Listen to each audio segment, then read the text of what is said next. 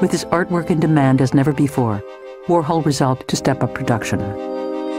In January 1963, he moved his studio from the parlor of his townhouse, no longer large enough to accommodate his larger paintings, to the third floor of an abandoned red brick firehouse a few blocks away on East 87th Street.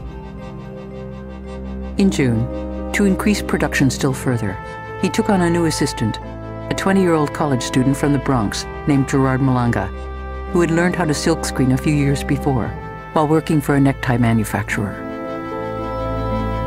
The more you look at Warhol's work, the more you look at Warhol, the more you see a mind constantly engaged in the studio.